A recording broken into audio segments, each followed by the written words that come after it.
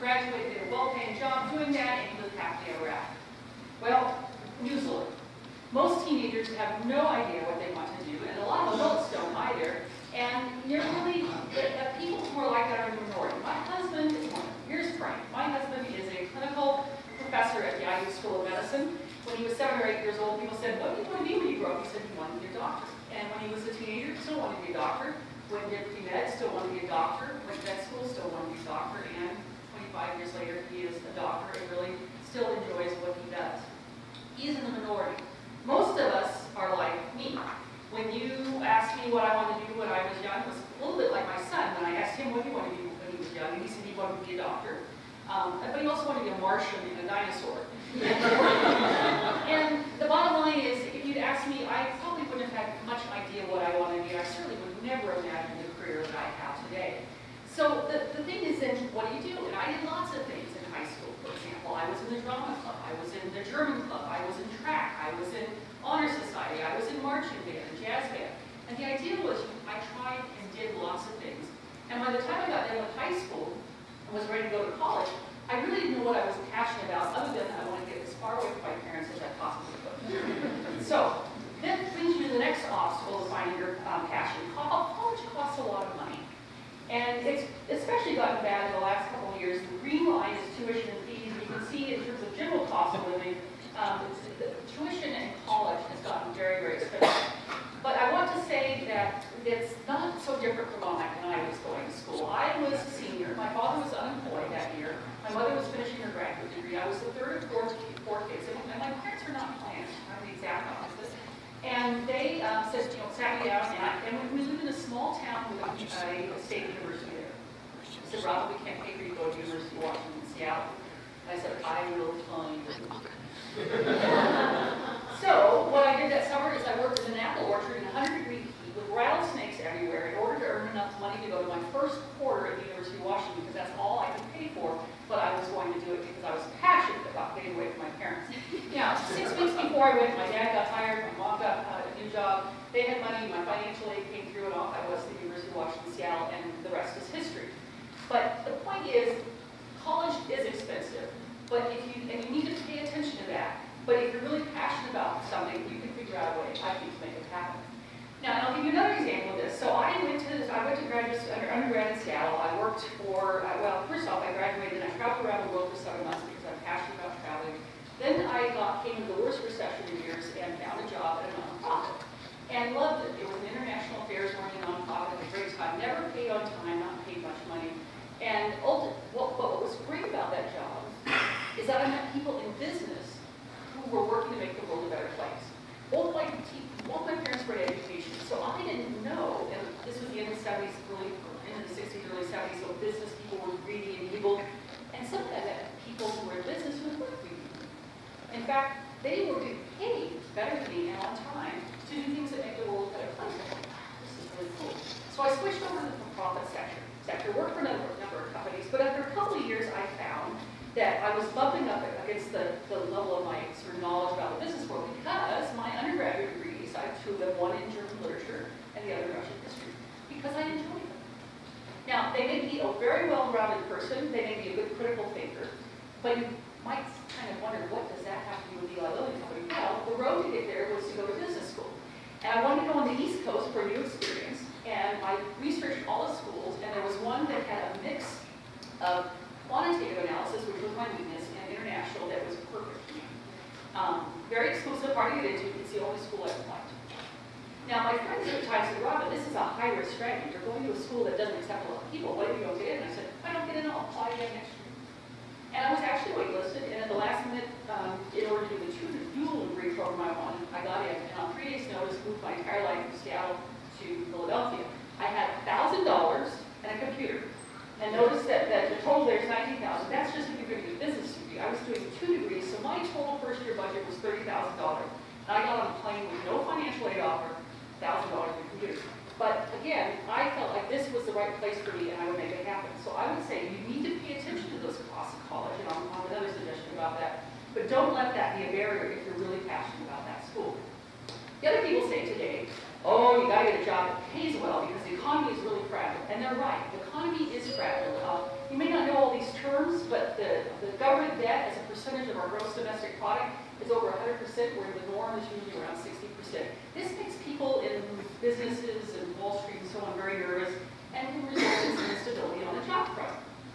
But I would say the solution is not what everybody says is get a well-paid STEM job. Yes, they do pay better. Yes, they, they can be better. But let's look at that, let's break that down a little bit. If you look at the green line, if you graduate from high school, or even don't graduate from high school, and maybe you get coding training like you got here, you don't go to college, you will make about thirty-five percent more than someone at the same level of education who doesn't have that STEM training. So if you don't go to college or don't finish high school, a STEM job is a definitely good, good option. But keep digging down and you can see the blue line. If you have a bachelor's degree in a STEM career versus a non-STEM career, then you will make about twenty percent more. So if I'm making ten dollars an hour with my German and history, you're making twelve dollars an hour as an accountant, and I'm, you're miserable, I'm happy, who has a better deal? And when you go to graduate school, the difference is even less, ten dollars. So you're miserable on Wall Street working eighty hours a day, uh, a week, making uh, eleven dollars an hour, and I'm making ten dollars an hour doing something I'm very happy at. So the point is, STEM jobs can be amazing jobs. I, I spend 95% of my day, as I said, working with clinicians and engineers and all these bright, wonderful people. And I wish I had known more about how you can apply science and technology solutions for people in making the world a better place. I wish I had. My parents were both teachers. That wasn't part of their growing up. But I would say, if you love STEM careers, go for it. Don't go for it simply because you think you're going to get make a lot more money and you're going to have job security, because that's the next thing. If you look at the unemployment rate, that last one was unemployed for STEM versus non-STEM for everybody. But if you look at college grads, which I'm hoping most of you are considering, the difference between an unemployed STEM major and an unemployed non-STEM major is basically zero today. So if you think that pursuing that well-paid STEM job, that, that engineering degree at Purdue that your, your dad or your mom is pushing you to do versus history, then think again.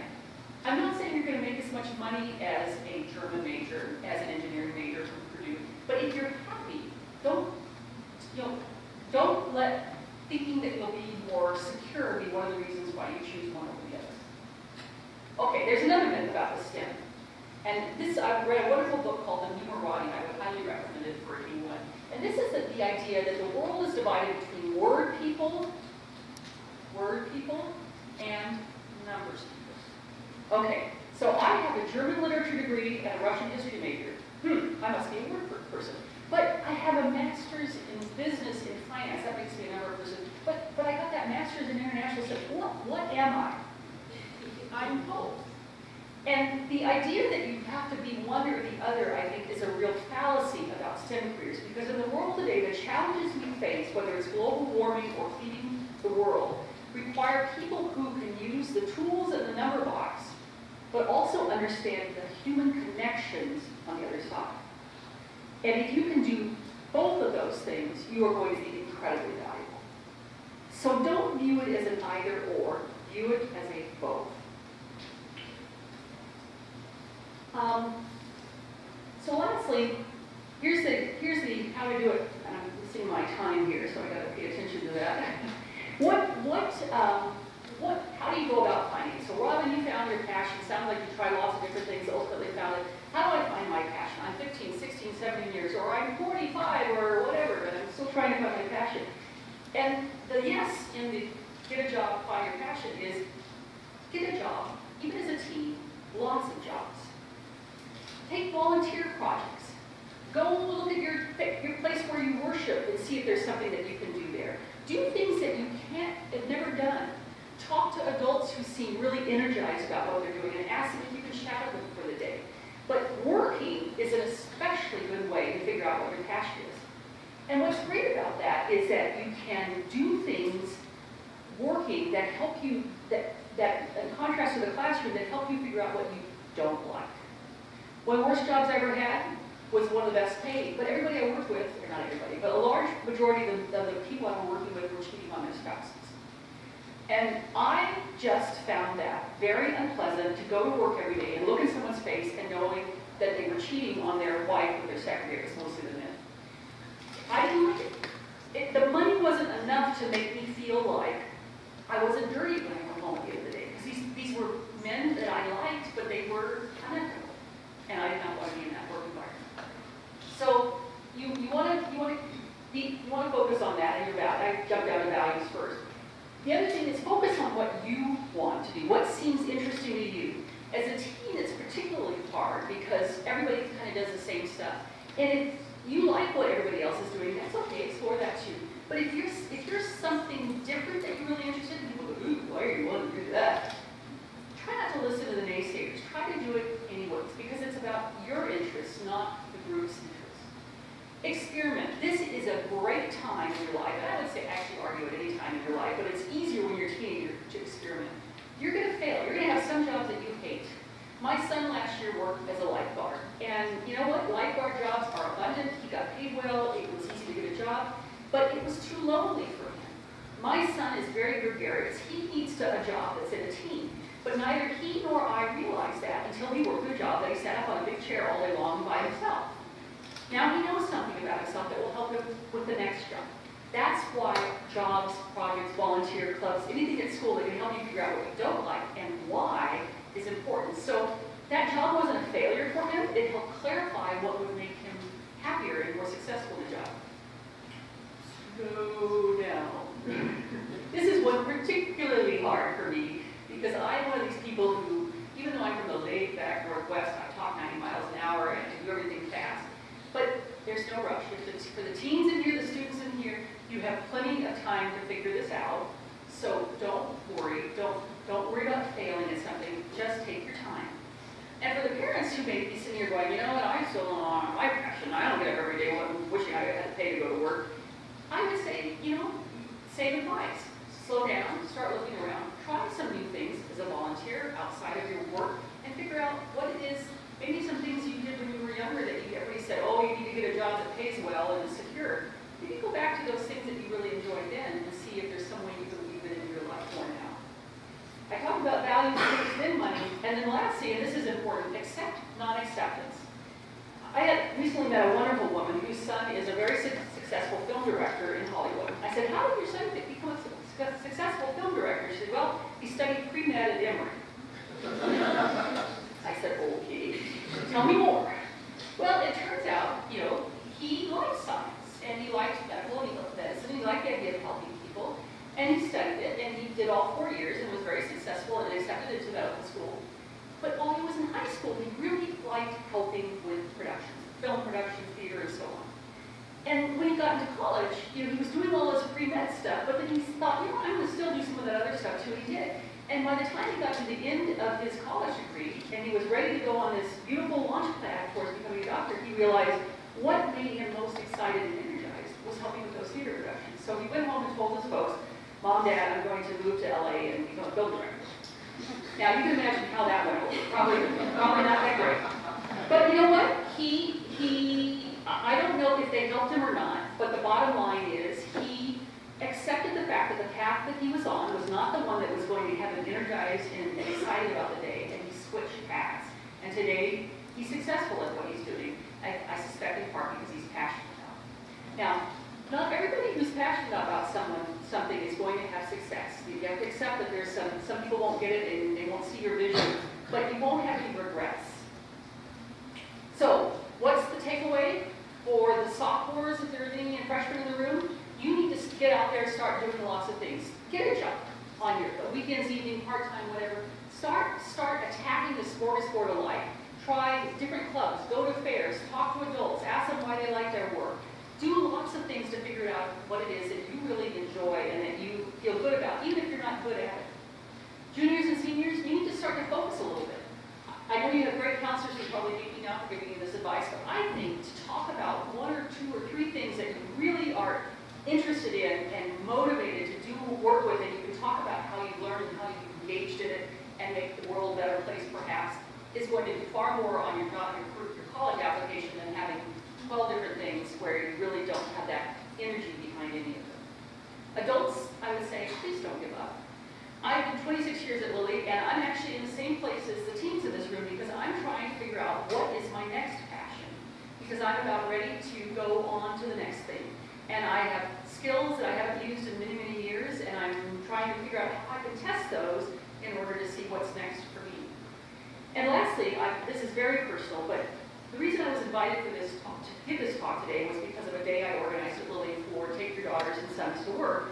And at the end of it, I summarized. I didn't even present, but at the end of it, I summarized it. We had statisticians, we had engineers, we had marketers, we had biologists. But the theme that ran through all of their talks about what they did and why they loved it was that they feel like they are making a difference in the world. You can make a difference in the world at Eli Lilly Company. You can make a difference in the world as an artist. You can make a difference in the world as an engineer. There are all sorts of ways to do that, but I think ultimately that you will be passionate and sustain that passion if you're making a difference. So if you do all that, I think you'll be happy. Not all the time, but you'll be happier. And you'll look forward each day. Problems will be smaller. You're going to be enthusiastic and engaged. You'll be positive. You won't be a Debbie Downer. Have you ever, I'm sure some of you have met these people that no matter what's going on, they are just not happy. And I suspect that they have somewhere lost that, uh, lost what they loved and made them feel good. And, and the the thing that's neat about pursuing this is you might not even be good at what you're passionate about, but learning it is fun. Practicing it is fun. And if you keep doing that, you'll be motivated to keep doing it enough to the point where you are good. So in conclusion, I want to say thank you very much for inviting me today. I wish you all the best, whether you're an adult or a student, on finding your passion. And I hope that I've given you a few ideas on how to make that happen. Thanks very much.